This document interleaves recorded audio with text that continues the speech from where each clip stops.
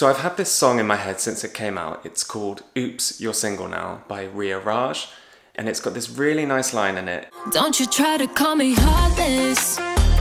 You told me to use my heart less.